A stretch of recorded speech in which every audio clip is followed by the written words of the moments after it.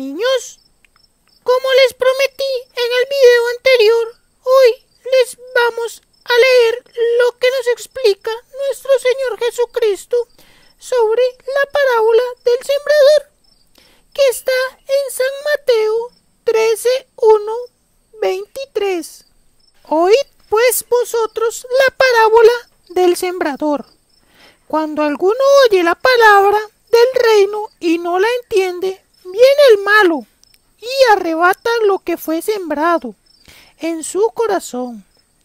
Este es el que fue sembrado junto al camino.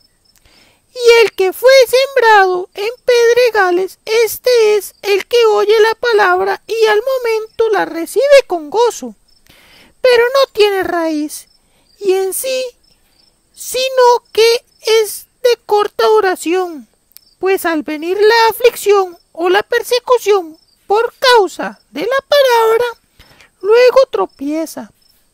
El que fue sembrado entre espinos, este es el que oye la palabra, pero el afán de este siglo y el engaño de las riquezas ahogan la palabra, se hace infructuosa.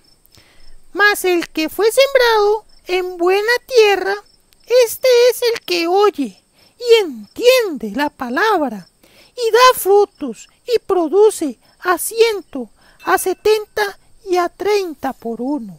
Bueno niños, eso fue la palabra del sembrador. Los espero en el próximo video con una nueva.